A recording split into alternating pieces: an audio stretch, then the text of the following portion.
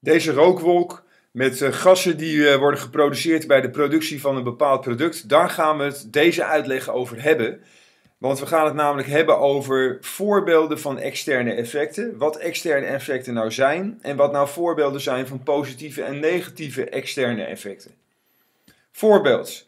Je gaat met uh, het vliegtuig op vakantie naar Londen voor 139 euro.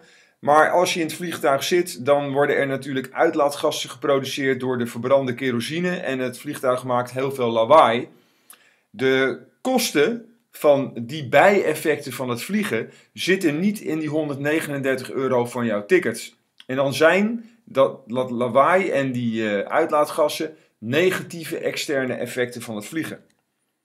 Ander voorbeeld, Johan Cruijff, uh, zijn foundation die legt uh, trapveldjes aan in bepaalde wijken van steden. En wat blijkt als zo'n veldje wordt aangelegd, dan is er automatisch ook minder vandalisme. Want kinderen hebben wat te doen en die gaan dus in de buurt bijvoorbeeld minder slopen. En dat is een effect wat gratis bij dat veldje wordt geleverd. Daar hoef je niet voor te betalen. Als dat veld wordt aangelegd, dus dat grasveldje en dat hek wordt eromheen gezet, dan krijg je gratis erbij dat er minder vandalisme in de buurt is. En dat is dus een extern effect, want het zit niet in de prijs van dat veldje verwerkt. Als je bijvoorbeeld een monument wordt opgeknapt, hier bijvoorbeeld het Colosseum in Rome, kan je voorstellen dat er automatisch meer toeristen naar de stad toe komen. En dat is dus een effect wat je er gratis bij krijgt als je monumenten opknapt. En dat is dus ook een extern effect, want het zit niet in de prijs van het opknappen verwerkt. Dus wat zijn externe effecten? Bijkomende gevolgen van productie en consumptie die niet in de prijzen van de goederen die er worden geproduceerd en geconsumeerd zijn doorberekend.